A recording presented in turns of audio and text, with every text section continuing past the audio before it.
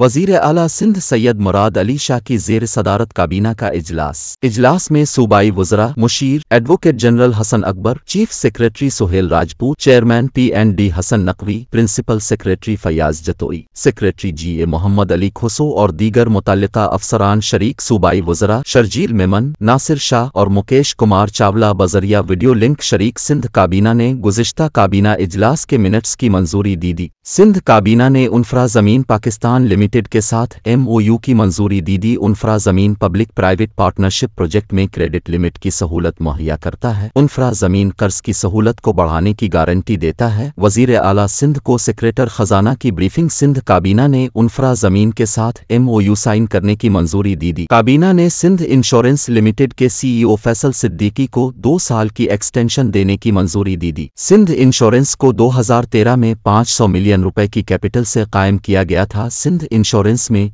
2017 में मजीद 500 मिलियन रुपए शामिल किए गए थे। सिंध इंश्योरेंस ने दो अशारिया छह बिलियन रुपए का मुनाफा हासिल किया है।